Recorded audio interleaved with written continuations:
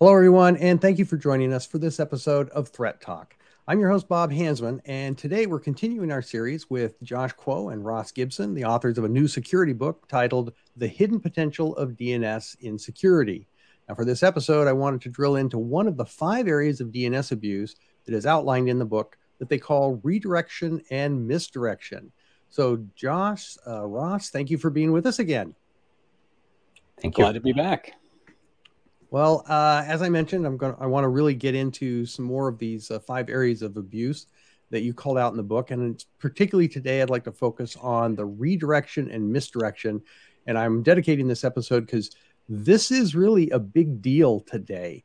Um, I mean, it's also used for legitimate purposes, which unfortunately is a lot of the problems we have with security. Things that are created to make the internet work better, to make email better, to make our, uh, just the applications uh, more capable all this stuff created for good can be twisted by the bad guys. So, how do the bad guys apply redirection and misdirection in our modern cyber attacks? And let's uh, today, let's start with you, Ross. Sure. So, um, you know, there's a bunch of different ways they can do it. A, a, lot of them have to start out with evasion, right? And that can be things like uh, what we what are commonly known as lookalike domains, right? So they they're domains that look very close to or maybe a common misspelling of an existing domain. Um, and you can go back to kind of where it all started. I know it's one of Josh's favorites is uh, PayPy, right? So which is kind of the first major one where they took PayPal and changed the L to an I and did an uppercase I, and so it looks basically just like PayPal.com. And then obviously redirect, you know, sending people to a place other than where they think they're going. It's not really that we're rerouting them, it's that we've tricked them into thinking that this one place is the exact same as some other place that they would normally legitimately go. Yeah, and that kind of goes with that. Uh, uh, in the abstract, I kind of use this magician theme where, you know, that's the key behind all magic is to misdirect and redirect you. That, you know, when I say, okay, now watch me pull this thing out of my hand, they're actually doing something with their other hand out off camera and you don't see it. And so they're they're using these techniques to make you think and focus on something and you miss the obvious clues that are there because you're not expecting them. Um, i even remember uh, some studies that i had to take in well university. You know you have to take classes that have nothing to do with your major just because you're getting a well-rounded education. And one of the classes i had was where they would show you stuff and they say and then they take it away and say okay so how many words were misspelled? And it's like what I, they all looked right to me because our mind fills in the gaps. And the example you gave of PayPal versus PayPal is is a great example. Um, and how often do you see that, uh, Josh? How how often are we seeing that kind of technique? Uh, we're still seeing it today. So PayPal and PayPal that was 20 years ago, more than 20, oh. the year 2000. Right. This is even before the term phishing was invented. Um, and it's such an effective technique that it lives to today. In fact, if you do some threat research today on the name PayPal, there's still a lot of those. They still use different variations and spellings. And what opened up a new door for these attackers is about 10 years ago, um, the DNS community greenlight the use of international characters. So the with good intention, they were hoping, well, you can you can register a domain name in Korean, you can register one in Arabic. Well, turns out there's a bunch of Greek and Latin and other characters that overlap with the English character, like the Omicron character in Greek. It's a different character, but visually it looks exactly like O. So as an attacker, I could potentially go out and register Google, but replace both O's with the Greek Omicron letters. And it looks visually just like Google, but you wouldn't know. You click on it, it takes me to a site that looks like Google. How would I know the difference? Right. So yeah. that is still going very strong for a lot of these attackers as sort of the first uh, breach in the uh, attack life cycle of luring people in. They'll click on something, get infected with malware yeah, I remember when uh, that came out, uh, those kinds of attacks were coming more popular. And I remember learning about Punycode so that um, I could actually get a visual uh, indicator that um, this is a bad um, domain or a malicious domain. And when I started looking at all the different languages in Unicode, um, they're not all the popular ones. I didn't. There's a Cherokee character set, you know, and I was thinking, well, I, I know that there's a Cherokee language, and and I assumed there was some sort of a written language, but the fact that you know that is in there, um, that just gives you an idea of just how many different kinds of languages are are in the whole Unicode set. Um, and when I did uh, that study, I took the word the name Infoblox for Infoblox.com, and uh, there was an on-site uh, or an on the internet website where you could put in something, and then it would do the auto substitutions for everything that might look like it.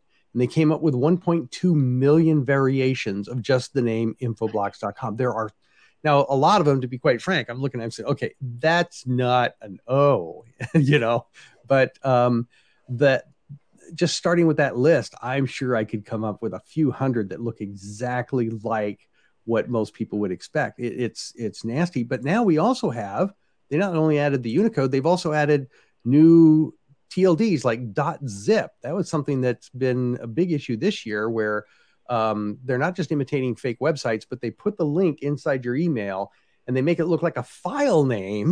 But when you click on it, you end up going to a domain that is a .zip domain. Yep. And, th- and that plays into the hidden path thing that we were talking about earlier, right? Because you can actually use those slash characters in in the labels after the host name to make it look like it's an actual file path. And those and those new TLDs .zip in particular really make that difficult for people to pick out because they're used to seeing zip files, right? Mm-hmm. They've been around forever.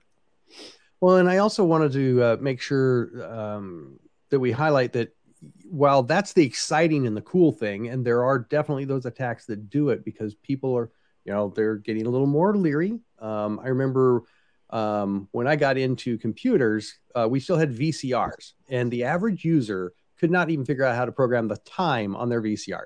The technology capabilities of your average user was pretty low. But today, everybody with their smart devices and stuff, they really take pride in knowing technology. Everybody really wants to be on top. So they've gotten pretty good at mousing over links and things like that, those basic steps. And that is why the bad guys are doing these kinds of character substitutions.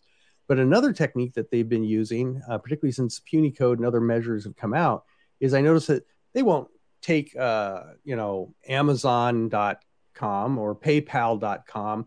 They'll go register a site called PayPal dash discount services dot bonus dot com. I mean, they'll just string words together that in the context of their socially engineered email, it's a perfectly legitimate looking name. But uh, and it's got Amazon. I mean, wouldn't Amazon own every name that had the word Amazon in it? Um, you would think so until you start realizing, hold it, there's a whole bunch of businesses along this place called the Amazon in Brazil that have the words Amazon in their name and they have domain names.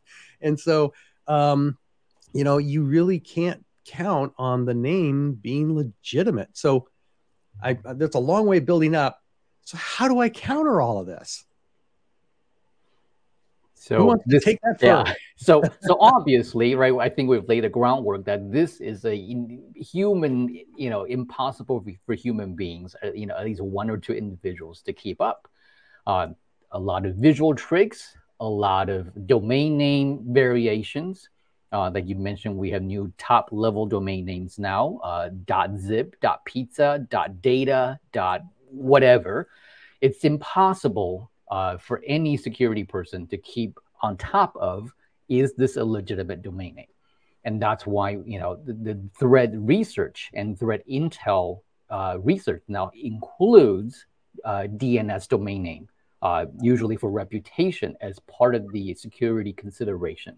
So when you're doing a security policy, you should you know be able to subscribe or purchase some sort of uh, intelligence data that includes the DNS domain name reputation, so that you know, hey, I'm trying to go to uh, PayPal.amazon.com well, is that a real domain name or is that a, you know, is the O slightly switched out to a, a Omicron O or is the, uh, is the W spelled with two V's?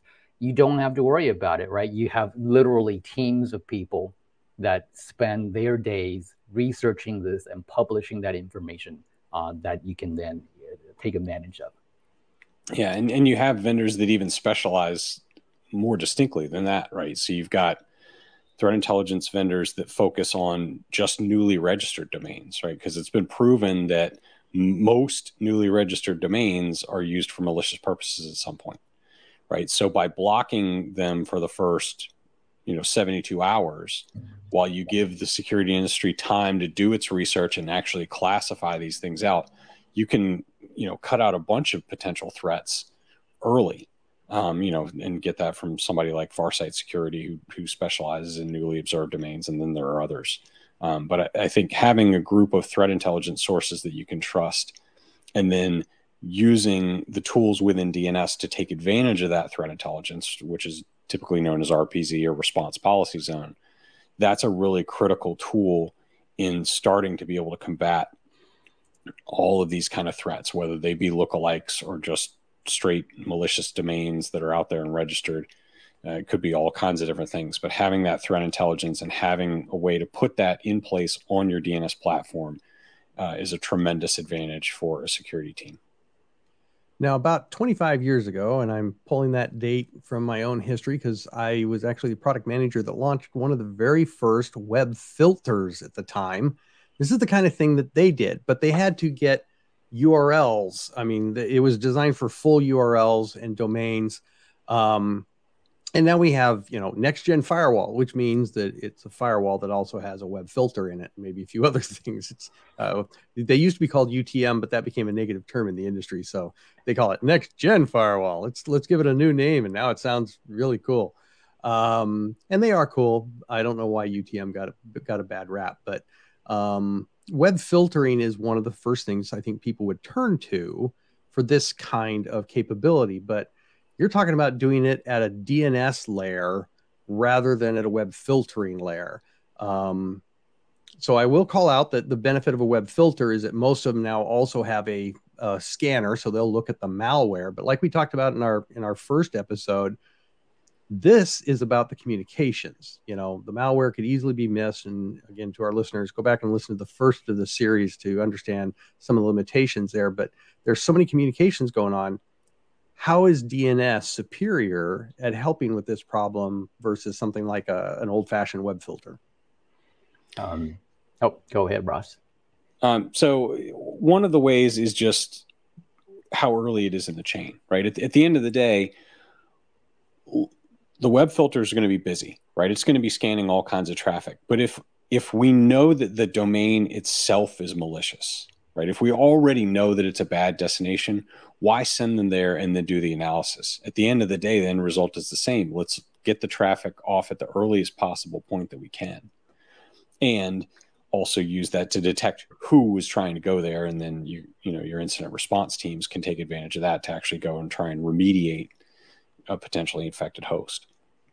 So I mm-hmm. and I think it's you know, like you said, you've got next gen firewalls that are catching all kinds of different things, and they're great tools, and web filters are great tools, and secure email gateways are great tools.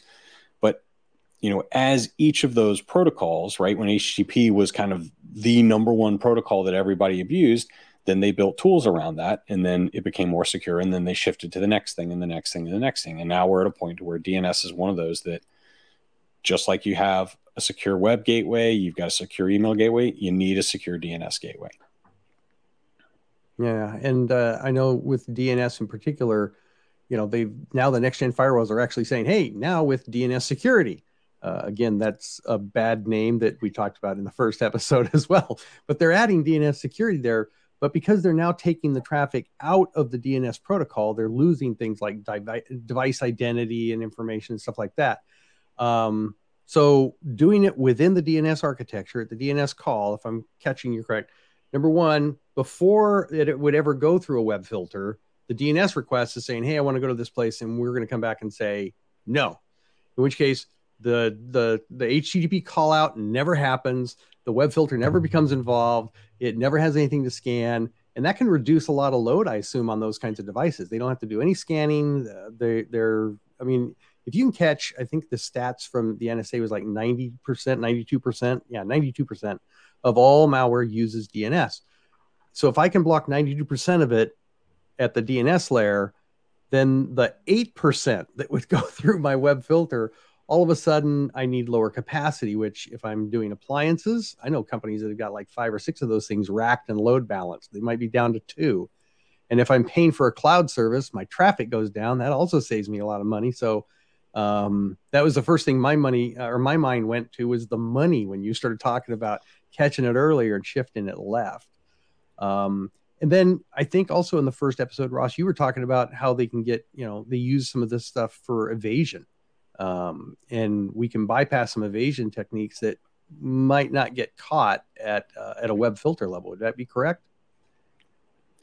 Yeah, well, that's that's true because you know, especially in the web world, you've got so many different domain names that are going on just behind a single web page, right? You might have just one link out of hundreds that are in a web in a single web page that are malicious, and if you're scanning or you're classifying based upon the main domain name target that they're going to, you might miss that little, you know, like you were referring to before, really small piece of code, right? Just the one little downloader that's just going to go and start pulling updates and pulling other stuff. So catching every bit of traffic that's going out there is a real advantage that DNS has because it's really going to see every little bit as it's going through. Okay. Cool. I'm I'm actually the way you worded that triggered something that I remember also from about 22 years ago. I think it was Trend Micro introduced a feature with their uh, their email security where they knew that the bad guys would register a site. And you mentioned about newly observed domains. You know, those are something to keep an eye on. Well, they weren't doing that, but they would notice that the guys would create the do- domain. They'd put the link in the email that's going to go to the bad place, and then they'd send the emails overnight. And they'd come in through whoever's email system. They'd look at the domain names and check the URLs with their web filter or whatever, and everything looks kosher because the site doesn't exist yet. And then about mm-hmm. eight o'clock in the morning, as everybody's coming into work, they they turn on that server and that domain becomes active. And before anybody can react, people in the morning they're all clicking on their morning emails, checking this, checking that, and the next thing you know, they're all infected because they time when this stuff goes lively. But they're again, that's because they're focused on the content on the site. Whereas with DNS, you're talking about just no, the characteristics of the site make it. Um, in this case, it, we're not even talking lookalikes. This would just be like a suspicious site, right? Suspicious, yeah. Right. Now, you yeah. guys have been working with the suspicious stuff. How does that come into play here? Um, so, so uh, suspicious would be a category where we we're pretty sure we have a certain level of confidence that this is gonna this is gonna be used for bad, uh, to do bad things. We just don't have any proofs yet. Um, but how do we know it's going to do bad things? Well, one of them is a is clear giveaway in the name itself. Nobody in the right normal person will register a bunch of random characters that's 32 characters long as a domain name that nobody can even pronounce. Why? Because the whole point of DNS is I want people to know my name, Josh is joshisawesome.com, and go there and go order some yeah, I've been to that site before. That's a great site, by the way. yes. Right. But no one's going to go to just like, you know, something that's completely random character. So if you have a domain name that's been registered, say today, and it's completely random, not humanly readable, it, chances are this is not registered for to do something good. Uh, we don't have any proofs yet so we're gonna we can file it under suspicious that we are pretty sure within the next few days it will start, like you said. They're waiting, the attackers are waiting to turn it on to start doing something bad. Now they what are be, waiting longer and longer. What would be uh, some of the indicators that would let you know that early on that something's suspicious? So one would be the TLD that they use, right? So there are some TLDs that are kind of notorious for being used maliciously, like .xyz or something like that. Um, and and by taking that as a characteristic, right, and then taking the other characteristic, like Josh said, of it's not normal, you know, words, and you can look at a few different factors. to help kind of guide you down and say there's something about this that implies that you know we expect to see some type of nefarious activity coming from this domain. And that that's where you would kind of say suspicious. And then you move from suspicious to to straight malicious once you actually start seeing activity going on and you say okay you know they're they're pushing malware from this site. That's definitely malicious. And you would put it in a, in a malicious category instead. Well, and when I think of DNS, I'm also thinking of, you know, now you're looking at registrar information and WHOIS information. So, um, I mean, and, and, we, I don't think we've gone into it a lot of detail, but I've had some other episodes with uh, some threat intel people, and they talk about how the bad guys will go out and they'll actually register a couple of dozen sites as part of an infrastructure because it's no longer just here's a link to the place where you get the malware. It's a link to the malware, and then oh, they also link back to a place where they deliver certain pen test tools, and they deliver they go to a different C2 server for other kinds of content. Mm-hmm. That these are huge infrastructures, and when they need to update or expand their infrastructure, they're going to register a whole bunch of sites all at once. And that would probably, I imagine, raise some flags. Again, you're looking at the DNS level, not the URL level, like a web filter and that would give you some visibility into those activities that make the flag start going up you know a bright yellow flag even if it's not red right right right well that that plus you have you know with the emergence of the cloud you've got more and more sites being hosted within quote unquote legitimate address space right and because from a traditional firewall perspective if you're blocking based on ip addresses if you block a given ip address that's in a range used by AWS, for example, you could be blocking a ton of legitimate hmm. services mm. inadvertently. So that's where, you know, doing it on the DNS rather than doing it just based on the IP that you're resolving to is where you can get a little bit more surgical about what you're actually trying to block against rather than being a little bit more heavy handed and, and ending up, you know, potentially mm-hmm. causing business dis- disruption. Well, yeah, I do actually recall a situation where a um, couple of newspapers in Italy uh, were being compromised. It was a water hole attack, so people were putting malware on their site. And so the immediate reaction of a lot of security tools was, well, let's block this IP address. And it happened to be a hosting site that hosted hundreds of local newspapers across Italy. And all of a sudden, nobody in Italy could get their news. Um, so uh, real overkill. I even remember a policy one time a company put out um, for their email and it had a typo and they basically said, let's block all emails where the subject line contains the letter P. Um, you know, those, those are prime examples of, of overkill where the policy worked. There was actually not a single attack that could get through that, but a lot of legitimate stuff couldn't get through it too. So um, your comment about surgery uh, or surgical uh, attacks becomes uh, much more uh, uh, important under those kinds of scenarios. So, where are we seeing um, overall? Where are we seeing uh, misdirection and redirection? Is there any particular industry that I mean, is it just consumers with PayPal and all that, or are there certain industries that are being targeted? Um, I think it's it's really across the board um, I wouldn't say it's being target. It's a tool. The I, I, malicious actors are going to gravitate towards what is effective, um, and this so far is still, unfortunately, still effective because not a lot of people have this capability uh, in their organization to detect. Uh, you know, uh, suspicious or malicious DNS uh, names. A lot of people are still kind of in the block by IP address, or I'm going to block a few uh, well-known bad domain names. So until we, as a as a I think as an internet community, move to the point where DNS is no longer a very effective and cheap way to exploit to attack, then the attackers will continue to use these uh, techniques. Doesn't matter it's hosp- hospitals or uh, state governments or or education.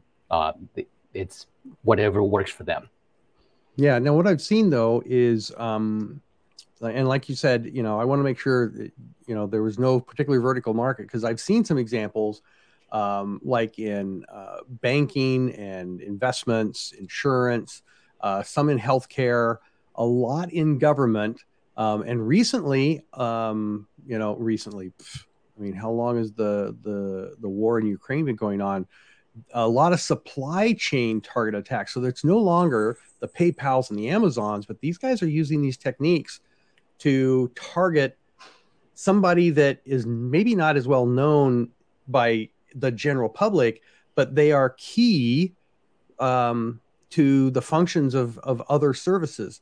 Um, and so I think one of the best examples I saw was where somebody or stories I, I heard was when somebody said, So, this example I just gave you, it, think back to when Target was breached because of a configuration error by their HVAC vendor who had, you know, access on their network.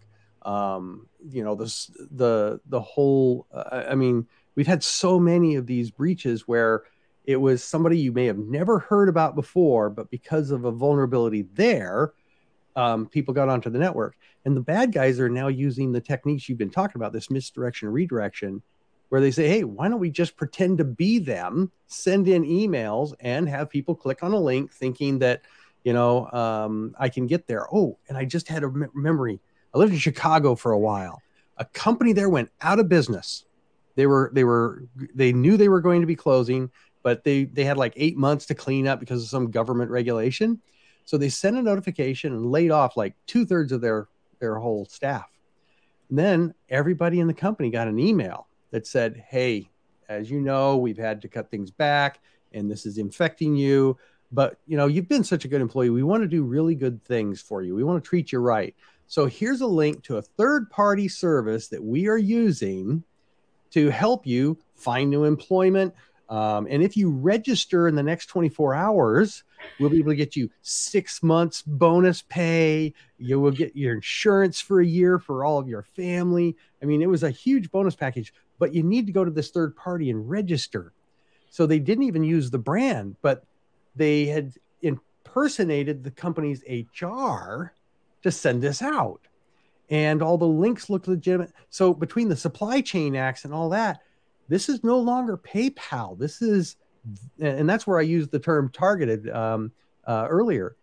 They are getting so specific. They don't care if they're going to hit the whole world. They're just hoping to hit maybe a particular industry in two or three states or in one country, right? I mean, what are you guys seeing on that line? Um, I, I, yeah, I just throw in the real quick one. The one that you mentioned reminds me of an example we had in the book. Uh, it's for BEC, for business email compromise right? A lot of we've been talking about DNS in the context almost like in you know almost as part of web traffic, um, but people often forget email is still a big thing, and then email also relies on DNS. So we have an example in the book where the attacker used again lookalike domain, add an S to the end of their business name, and I won't you know go through all the details. Okay, you can go get the book and read about it. Um, basically amend the middle. So I'm in, inserted myself between the company and the venture capitalist to say, give me more money to invest. And in the end, the uh, scammer walked away with over a million dollars uh, just by changing a few DNS names in between. Uh, Ross, any stories that uh, you like to share? Uh, I, I, I love the one that Josh talked about. It's it's um, but I, I, think when you get into the supply chain, I think kind of the poster child, unfortunately, for that would be SolarWinds, right? I mean, that's probably the the biggest one that really brought the supply chain attack kind of to the forefront. Yeah. And, and, and glad again you reminded everybody that you know these are the, this is the kind of information that's in this book and you know while there's so many books about DNS from a networking perspective this has become my go-to reference for anything security related in DNS which is great for when I'm doing investigations, threat hunting, and there's aspects of DNS that I haven't looked at that for a while, and I need to be reminded. So it's not just uh, something to go through and learn. Um, you know, it's it's also something I just keep handy uh, when I need to grab it. And uh, unfortunately, we are really coming up to our time here, so I'm going to have to cut this short for today's episode. Remind the audience that this is the second of a three-part series, so there will be another one. If you haven't heard the first, go back and if you haven't uh, had a chance to uh, take a look at the book, you can get it um, on Amazon.com. Uh, the book is titled The Hidden Potential of DNS in Security. And um, let's see. Oh, and now we'll uh, have it as we post the podcast on the Infoblox website. There will be links there. There should be links in uh, a lot of your uh, podcast sites. So we're going to make sure you have all the links to uh, to their book. But Josh, uh, Josh Ross, thank you very much for coming on today. Thanks thank a lot. And I want to thank all of our viewers and listeners for your time as well. Join us next time as we continue our efforts to help you stay on top of cybersecurity and ahead of cyber risks on Threat Talk.